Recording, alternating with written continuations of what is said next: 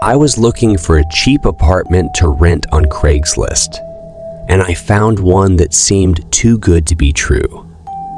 It was a spacious one, bedroom unit in a nice neighborhood with hardwood floors, a fireplace, and a balcony. The rent was only $500 a month, and the landlord said he was looking for someone to move in as soon as possible. I contacted the landlord and he said he was out of town, but he could arrange for me to see the place.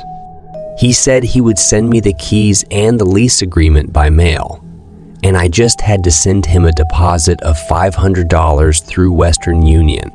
He said he trusted me and he didn't need to do a background check or anything. He said he was a Christian and he believed in honesty and kindness. I was a bit skeptical, but I really wanted the place. I thought it was a once in a lifetime opportunity, and I didn't want to miss it. I decided to take the risk and send him the money. He gave me his name, address, and phone number, and he sounded very friendly and sincere. I received the keys and the lease agreement a few days later and I was excited to see the apartment. I drove to the address he gave me, and I was shocked by what I saw. It was not a nice building at all. It was a rundown motel with broken windows, graffiti, and trash everywhere. The apartment number he gave me did not exist. There was no such unit in the motel. I realized I had been scammed I tried to call him, but his phone was disconnected. I tried to track him down, but his name and address were fake. He had taken my money and disappeared. I felt angry and stupid. I had fallen for a classic Craigslist scam. He had used fake photos and information to lure me in, and he had taken advantage of my trust and desperation. He had probably done this to many other people before me, and he would do it again. I reported him to the police and Craigslist, but they said there was not much they could do. They said these scams were very common and it was hard to catch the perpetrators. They said I should have been more careful and done more research before sending money to a stranger. I learned my lesson the hard way. I lost $500 and my dream apartment. I never found out who he was or where he was from. I still have nightmares about that motel. This story is based on a true incident that occurred in 2017 in Colorado Springs. The victim was scammed by a man who claimed to be renting out an apartment on Craigslist. The man used fake photos and information to trick the victim into sending him money through Western Union. The victim later discovered that the apartment did not exist and that the man had vanished with his money. I was looking for a roommate to share my two bedroom apartment in downtown Chicago, and I posted an ad on Craigslist.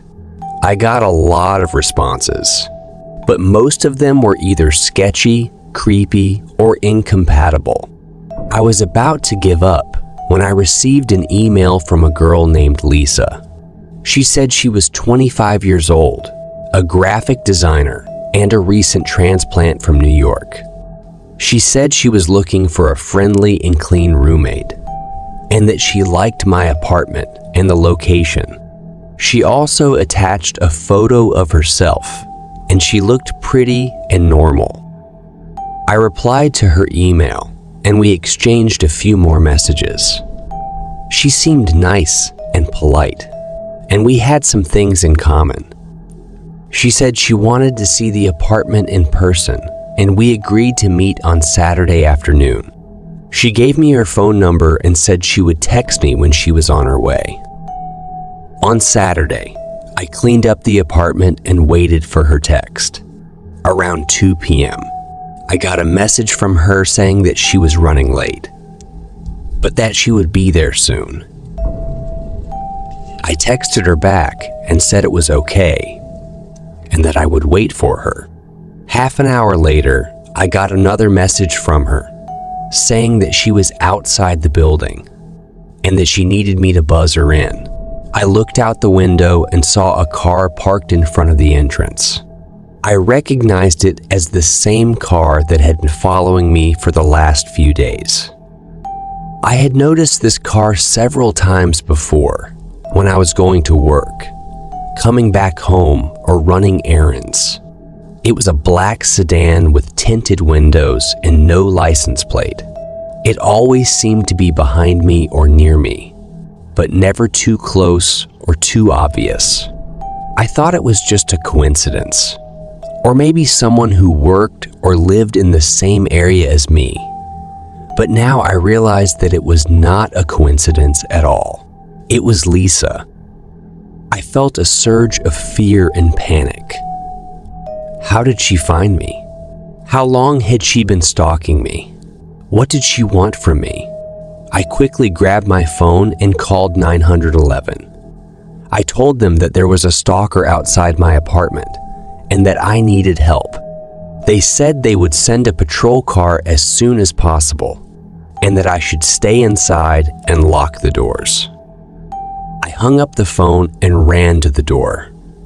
I made sure it was locked and bolted, and then I moved away from the window. I heard the buzzer ring several times, followed by loud knocks on the door. Then I heard her voice.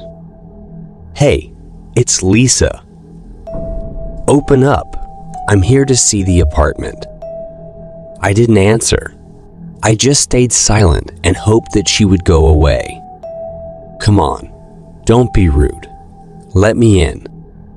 She sounded calm and friendly, but I'd sensed something sinister behind her words. I know you're in there. I can hear you breathing.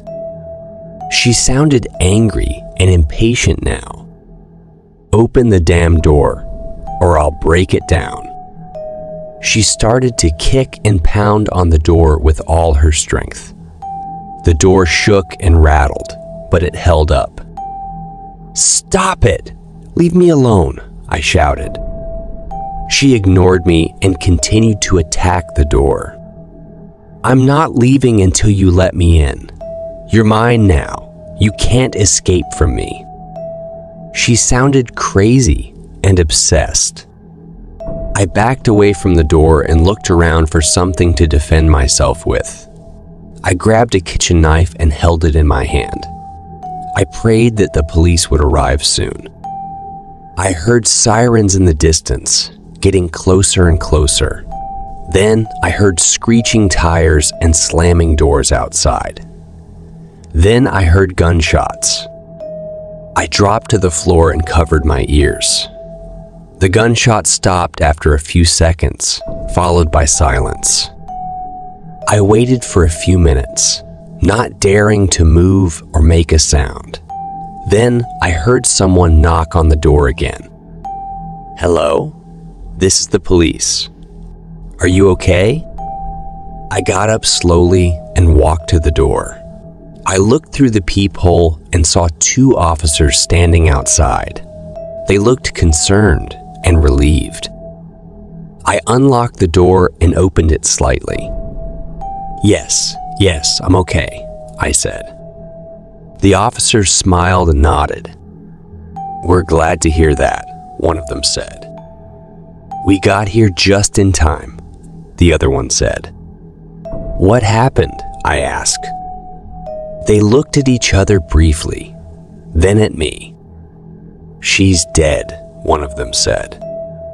She tried to shoot us when we approached her car, the other one said. We had no choice but to return fire, one of them said. They pointed at the car parked in front of the entrance. The windshield was shattered by bullets, and blood stained the seats. I saw a body slumped over the steering wheel. It was Lisa. I felt a mix of shock, relief, and sadness. I didn't know who she was or why she did what she did. I didn't know how she found me or what she wanted from me. I didn't know how long she had been stalking me or what she would have done to me if she had gotten inside. I only knew that she was gone and that I was safe. The officers asked me some questions and took my statement. They said they would investigate the case and try to find out more about her.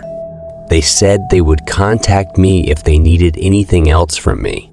They said they were sorry for what I had gone through and that I should seek counseling if I needed it. They said they would stay outside until I felt comfortable enough to leave. I thanked them and closed the door. I sat down on the couch and tried to calm down.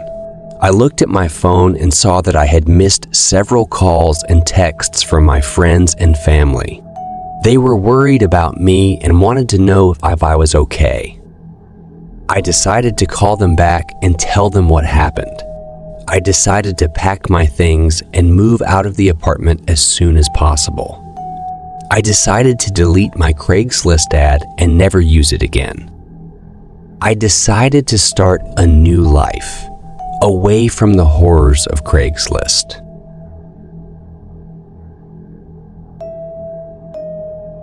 I was looking for a job on Craigslist, and I found one that seemed ideal for me. It was a data entry position with flexible hours, good pay, and remote work. The employer was a company called Data Solutions, and they said they were looking for someone to enter customer information into their database. They said they would provide me with a laptop, a software, and a training manual.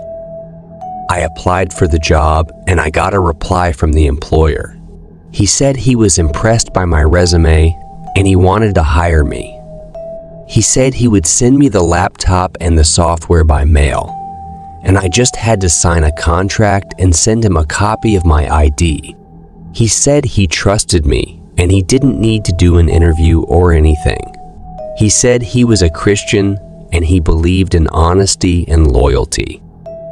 I was happy and excited. I thought it was a great opportunity, and I didn't want to miss it. I decided to accept the offer and send him the contract and my ID. He gave me his name, email, and phone number, and he sounded very friendly and genuine. I received the laptop and the software a few days later, and I was eager to start working. I opened the laptop and installed the software, following the instructions in the manual. The software looked simple and easy to use. It asked me to enter some customer information, such as name, address, phone number, email, credit card number, email, credit card number, etc. It said that this was a test run and that I would be paid $20 for each customer I entered. I thought it was a fair deal, and I started entering the information. I found some customer data online from various sources, such as social media, online directories, etc.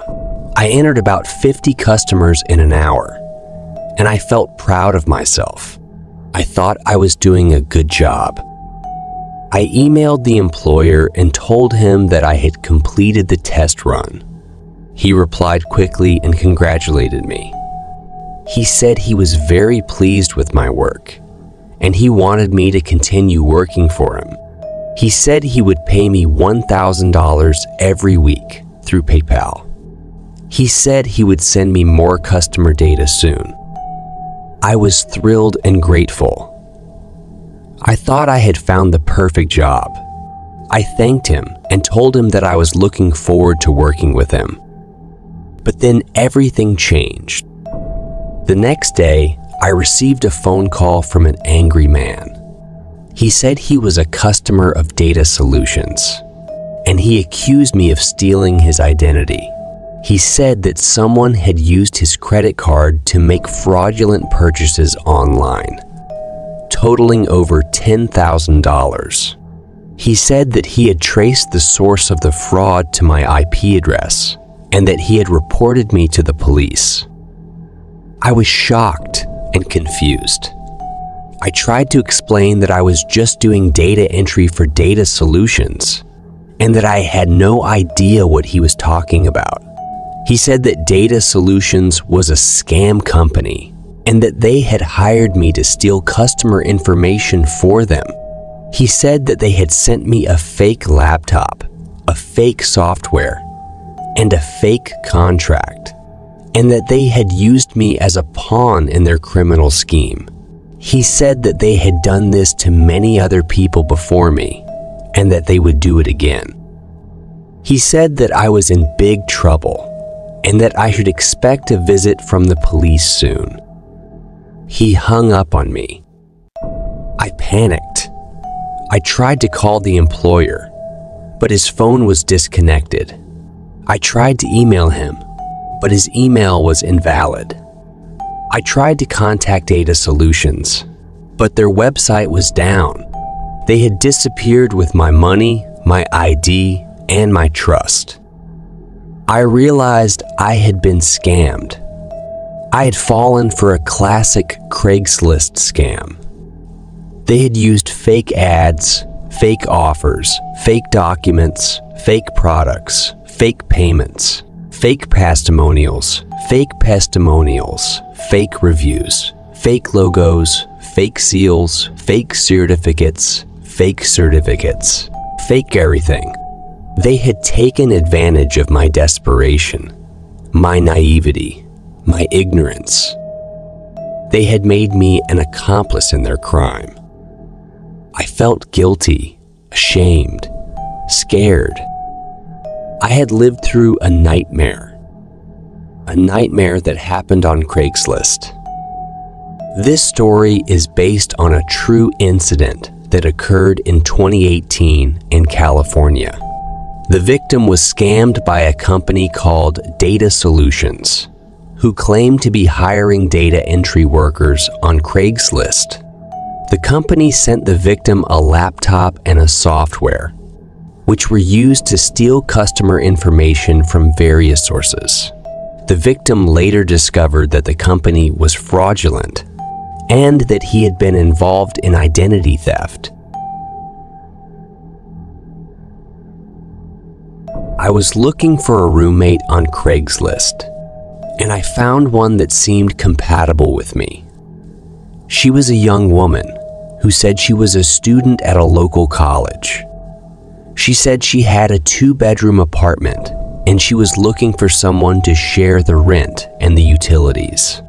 She said she was clean, quiet, and respectful, and she expected the same from me. I contacted her and she said she was happy to hear from me. She said she wanted to meet me in person and show me the apartment. She said she was available the next day, and she gave me her address and phone number. She said she was looking forward to meeting me. I agreed to meet her, and I drove to her address the next day. It was a nice building, in a decent neighborhood. I parked my car and I called her to let her know I was there. She said she would come down and meet me at the lobby. I waited for her, but she never showed up. I called her again, but she didn't answer. I texted her, but she didn't reply. I started to get worried and I wondered if something had happened to her. I decided to go up to her apartment and see if she was there. I took the elevator to the fourth floor and I looked for her door number. I found it and I knocked on it. No one answered. I knocked again. Still no answer. I tried the door handle. It was unlocked. I opened the door and I stepped inside. I wish I hadn't. The apartment was a mess. There were clothes, dishes, trash, and blood everywhere. There was a foul smell in the air and flies buzzing around. There was a couch, a TV, a table, and a chair in the living room. There was also a body. It was a man who looked like he had been stabbed multiple times. He was lying on the floor with a pool of blood around him. He had duct tape over his mouth and his eyes were wide open. He looked terrified. I screamed and I ran out of the apartment. I called 911 and I told them what I had seen. They told me to stay calm and wait for them outside. They arrived soon after and they went inside the apartment. They came out a few minutes later and they told me what had happened. They said that the woman who had posted the ad on Craigslist was not a student, but a serial killer. She had lured several men into her apartment using fake photos and information. She had tortured, killed, and robbed them using various weapons. She had kept their bodies in her apartment until she ran out of space. She had then decided to look for a roommate to get rid of some of the evidence. They said that they had been looking for her for months, but they had no leads. They said that they had traced her phone number, but it was a burner phone. They said that they had checked her email, but it was a fake account. They said that they had no idea who she was or where she was from. They said that I was lucky to be alive and that I had escaped from a trap. They said that she had probably planned to kill me too if I had entered her apartment. They said that it was a nightmare that happened on Craigslist. This story is based on a true incident that occurred in 2016 in Houston. The victim was scammed by a woman who claimed to be looking for a roommate on Craigslist. The woman used fake photos and information to lure the victim into her apartment, where she had several dead bodies. The woman was later identified as Valerie Busick McDaniel, who had killed at least four men with her boyfriend Leon Jacob. The couple were arrested after a police sting operation.